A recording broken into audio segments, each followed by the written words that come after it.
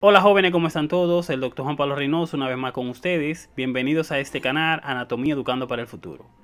Vamos a señalar el día de hoy cuáles son las arterias principales que estarán destinadas para la irrigación de la cabeza y el cuello.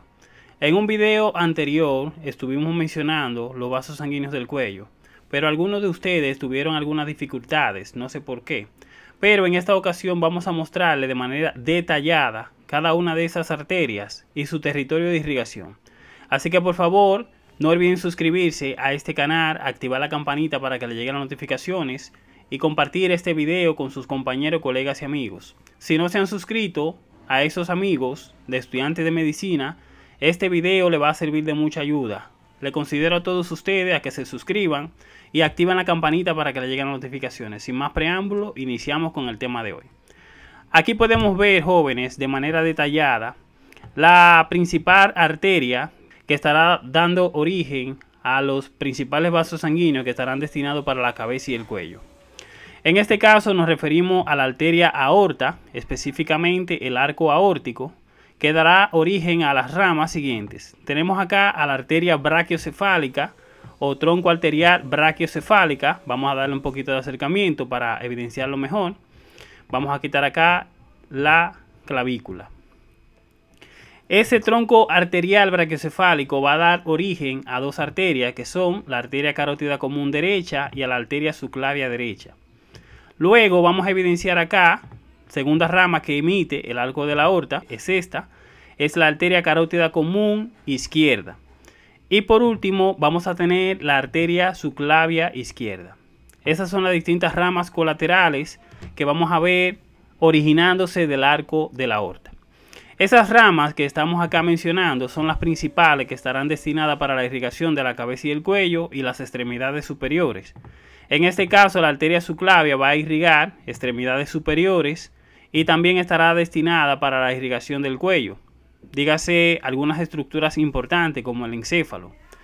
Aquí vamos a detallar básicamente las arterias carótidas comunes. Miren acá, tenemos la arteria carótida común del lado derecho y aquí la arteria carótida común izquierda. Esa arteria carótida común derecha e izquierda podemos ver la gran diferencia. La arteria carótida común izquierda tiene un origen intratorácico, por lo tanto podemos decir que es más larga que la carótida común derecha, que se origina de la arteria brachiocefálica o tronco arterial brachiocefálico. Esta tiene una porción cervical simplemente, la derecha, mientras que la izquierda tiene una porción intratorácica y una porción cervical. Esas arterias que estamos señalando acá van a estar en relación con las vísceras del cuello, dígase la tráquea, el esófago, eso es medialmente. Y también van a ir acompañadas por la vena yugular interna y los nervios vagos, para así formar el paquete vasculonervioso del cuello. Recuerden que un paquete vasculonervioso en este caso estará formado por una vena, una arteria y un nervio. En el caso del cuello. Ese paquete vasculonervioso es el paquete vasculonervioso del cuello. Ya en las extremidades superiores vamos a tener una arteria, dos venas y un nervio. Tengan eso en cuenta. Aquí podemos evidenciar esa arteria carótida común del lado derecho. Ya vimos el origen de cada una de ellas. Vamos a ver ahora qué hacen y cuáles son sus ramas que emite. Esa arteria carótida común, aquí podemos evidenciar que por encima del borde superior del cartílago tiroides, ese es el punto de referencia, acá, a la altura de la tercera vértebra cervical en el borde superior de esta, podemos decir que se divide en sus ramas terminales. Aquí podemos ver una rama terminal anterior, que es la arteria carótida externa, y una rama terminal posterior, que es la arteria carótida interna. Diferencia entre una de otra. Podemos evidenciar acá la gran diferencia. Una que va a ser posterior, que es la carótida interna, y la otra que es anterior, que es la carótida externa. La diferencia para tener en cuenta acá, los detalles, es muy importante. Y la única que va a emitir ramas colaterales, en este caso, es la arteria carótida externa, que vamos a mencionar más adelante cuáles son sus ramas colaterales. Podemos ver acá que la carótida interna no va a emitir ninguna rama colateral. Por lo tanto, esa es una gran diferencia que podemos tener en cuenta. Y también recuerden que la que es más posterior o más profunda es la arteria carótida interna. Y la que es más superficial o más anterior es la arteria carótida externa. Vamos a detallar la carótida externa. La carótida externa, luego de que se origina de la arteria carótida común, va a emitir esta rama que se ve acá, que es la arteria tiroidea superior. Aquí podemos ver los nombres para que tengan en cuenta de lo que estoy señalando. Y luego vamos a tener otra arteria, que es de la carótida externa también, que es la arteria lingual.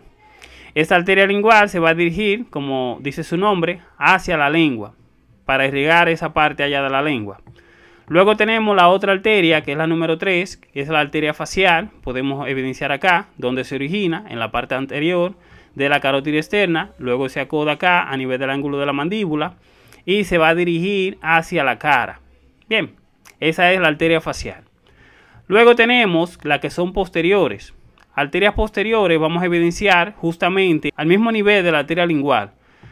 Se podrá evidenciar una arteria llamada arteria faringe ascendente en el atlas digital acá no podemos evidenciar, pero se va a encontrar justamente a este nivel entre la carótida externa y la carótida interna. Ahí debería de ir la arteria faringea ascendente. En el atlas de Netter se puede evidenciar bien. Vayan al otro video donde estuve señalando esas arterias para que ustedes puedan detallar bien esa imagen. Luego tenemos otra arteria que es esta que se evidencia acá, que es la arteria occipital. Podemos decir que es la arteria número 5 que va a emitir de las ramas colaterales la arteria carótida externa.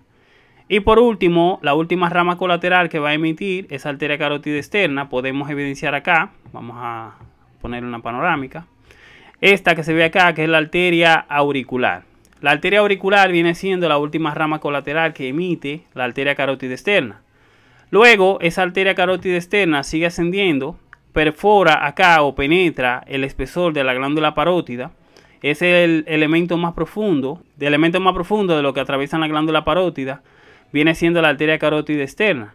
A este nivel acá, próximo a la articulación temporomandibular, en el espesor de la glándula parótida, déjenme colocar glándula parótida para que ustedes puedan evidenciar mejor lo que les estoy mencionando.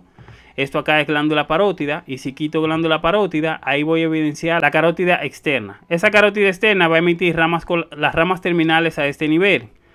Vamos a quitar esta parte para poder mostrar mejor las ramas terminales. Quitamos acá la mandíbula y podemos ver aquí cuáles son las ramas terminales. Tenemos la arteria maxilar, miren, esa que se ve ahí es la arteria maxilar y la arteria temporal superficial.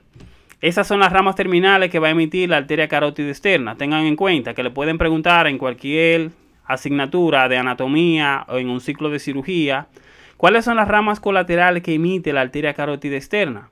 Recuerden, tenemos la arteria tiroidea superior, arteria lingual, arteria facial, tenemos la arteria faringe ascendente, arteria occipital y arteria auricular.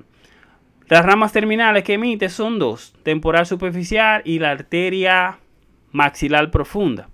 Eso es lo que tenemos que tener en cuenta con relación a las distintas ramas que emite la carótida externa. Por ejemplo, acá podemos evidenciar el territorio de irrigación de la arteria temporal. Ella va a irrigar el cuero cabelludo de la región temporal, dando ramas ahí que se van a anastomosar con otras arterias. Mientras que la maxilar es esta que se ve acá, que va a dar 14 ramas. Y ahí dentro de esas 14 ramas tenemos una rama terminal que es la arteria esfenopalatina.